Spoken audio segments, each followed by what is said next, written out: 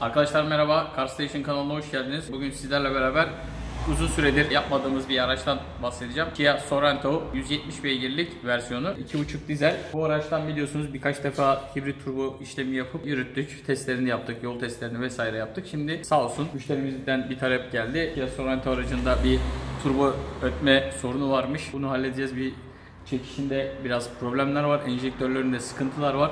Bunlarla ilgili çalışmaları yapacağız. Turboyu da yapmışken hazır hibrit versiyona çevireceğiz arkadaşlar. Gelin birlikte hibrit versiyona çevirelim. Ee, yalnız şunu parantez içinde size belirtmek istiyorum. Bu aracın turbosunu hibrite çevirirken orijinal boyutlarda yapacağız ve e, sadece güçlendirmek acına turboyu daha sağlıklı olması adına hibrite geçiyoruz. Burada da belli bir güç oranı sağlayacağız.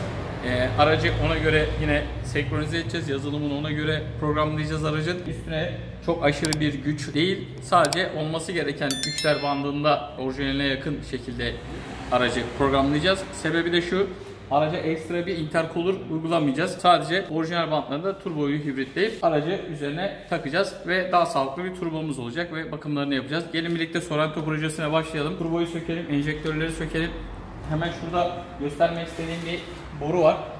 Gördüğünüz gibi şu boru e, normalde böyle olmaması gerekiyor. Aracın borusu da tamamen böyle üzülmüş vaziyette. Bu bağlantı yerlerinde boruyu da değiştireceğiz.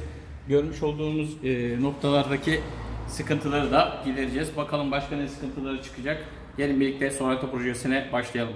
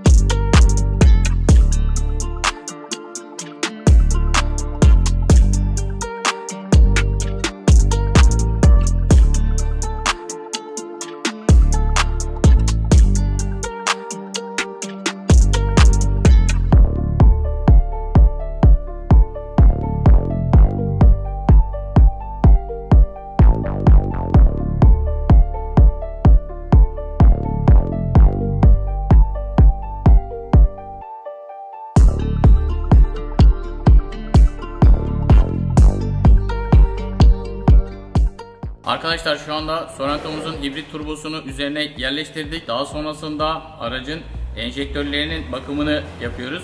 Enjektörlerimizi de Sorrento'nun üzerine taktıktan sonra arkadaşlar aracın bir yazılım güncellemesini gerçekleştireceğiz. Aracın üzerinde herhangi bir sıkıntı var mı yok mu onları kontrol edeceğiz ve marşımıza basacağız. Gelin birlikte Sorrento'daki işlemlere devam edelim.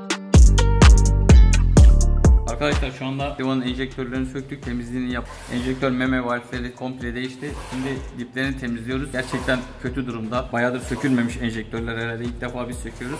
Şimdi diplerindeki o kurumları, pislikleri bir temizleyelim, atalım. Daha sonrasında enjektör montajına geçeceğiz.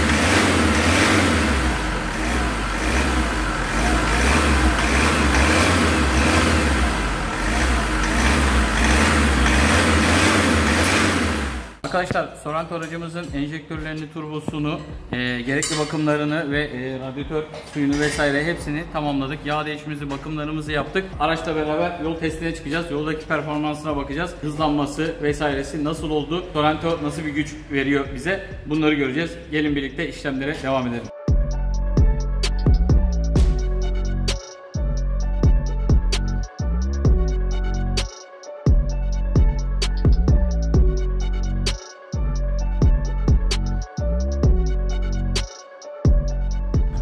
Arkadaşlar şu anda Kia Sorento aracımızın hibrit turbo işlemini gerçekleştirdik. Havada oldukça sıcak. Dışarısı yanıyor. E, klima açık olmasına rağmen aracın performansı oldukça yerinde. Şimdi size bir performansı ile ilgili biraz durumlardan bahsedeceğim. Aracımızdaki sorunlardan da bahsedeyim öncelikle taleplerden. Araçta arkadaşlar turbo ötme sorunu vardı. Enjektörlerinde sıkıntı vardı aracın. Daha sonrasında enjektörleri sökmek için bayağı bir uğraştık. Enjektörleri sökerken bayağı uğraştık. Ciddi anlamda kurum ve pislik birikmişti. Bunların hepsinden tamamen arındırdık. Aracın katalizörü ciddi anlamda doluydu. Ee, onu da içinin tekrardan temizlenip egzozuna müdahale edildi. Daha sonrasında şu anda aracın yağ bakımı ve diğer testleri yapıldıktan sonra radyatör hortumunda bir sorunu vardı. Radyatör hortumu sürekli kendini sıkıyordu, büzüşüyordu. Hortumu da yenisiyle değiştirdik ve motorun komple temizliğini gerçekleştirdik. Daha sonra tekrardan araca e, bir yazılım uygulaması gerçekleştirdik. Yazılımdan sonra da araç biraz daha rahatladı zaten. Daha da performanslı oldu. Şimdi size aracın sıfırdan 100'e nasıl çıktığını göstermeye çalışacağım. Gaz tepkimesi ve gaz yeme şekli nasıl oluyor? Özellikle Sorento 170'lik ve 140'lık modellerinde arkadaşlar aracın hantallığı ile ilgili şikayetleriniz varsa bunlarla ilgili bize ulaşabilirsiniz. Bu arada hemen kısa bir not düşeceğim. Ee, videoyu izleyip beğendiyseniz arkadaşlar abone olmayı unutmayın. Bizi desteklemek için beğen butonuna lütfen basın. Şimdi gelin sıfırdan 100 testine geçelim.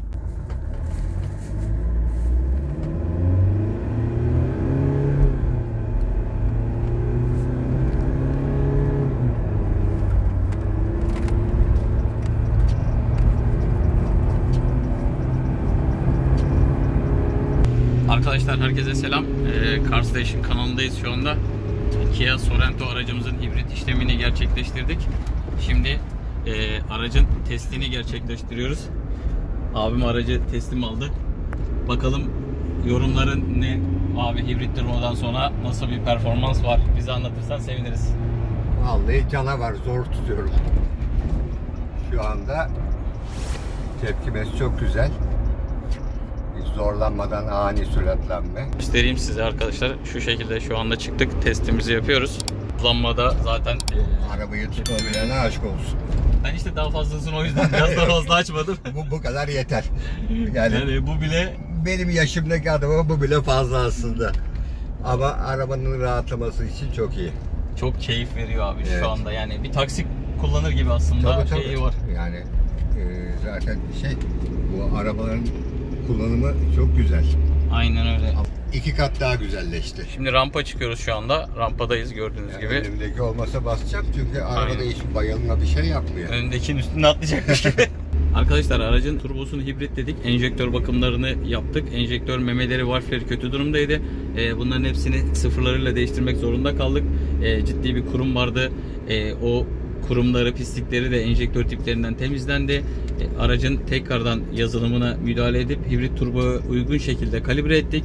Şu anda aracımız e, tamamen e, kendi herhangi bir orijinal parçasına müdahale etmeden, ekstra bir şey gözükmeden sadece turbo ile bile ciddi anlamda güç aldı. Şu anda da zaten Evet. kullanıyoruz. Direkt soldan yani e, muayenede geçer mi vesaire diye soranlar da var. Bunları da söyleyeyim muayenede geçiyor. Herhangi bir sıkıntı yaşamazsınız. Çünkü aracın orijinal turbosu birebir üzerinde duruyor. Sadece içindeki kanat ve pervane yapısını değiştiriyoruz biz. Onun haricinde de gerekli bakımları ve e, olması gereken yazılımına müdahale ediyoruz. Şöyle etrafı da biraz göstereyim. Araç test yolunu. İnsanlar buraları da böyle merak ediyorlar, seviyorlar.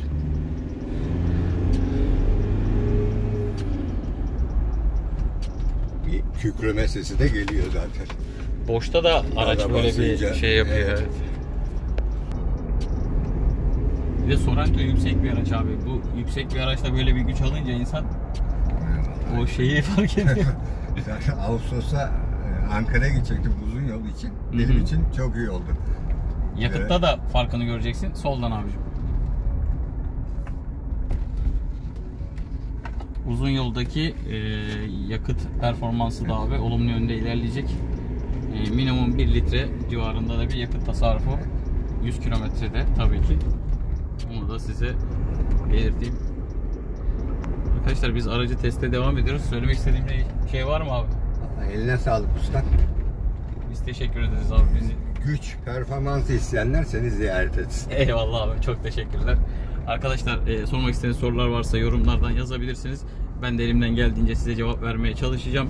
Kendinize iyi bakın. Kanala abone olmayı unutmayın. Görüşmek üzere.